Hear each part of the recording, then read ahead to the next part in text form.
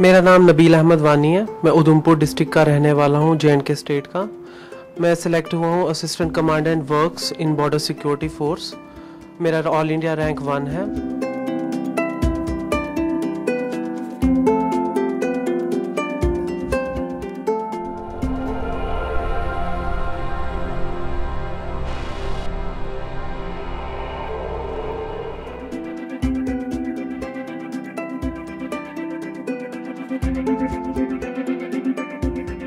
मैं जम्मू कश्मीर का रहने वाला हूँ। मैंने यहाँ पर हालात देखे हैं, जहाँ पर हमने देखा है सबसे बड़ा इशू हमारे यहाँ टेररिज्म रहा है।